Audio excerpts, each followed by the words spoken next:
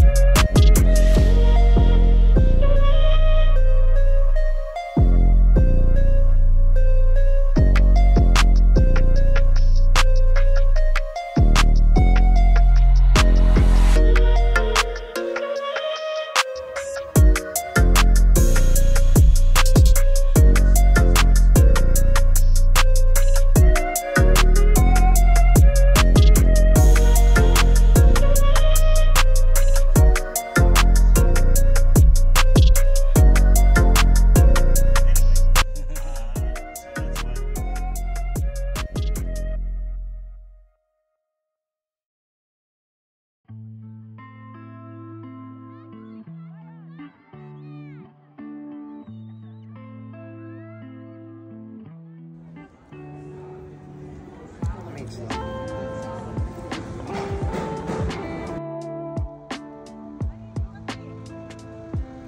So we spent a couple hours inside the mall again, like we always do.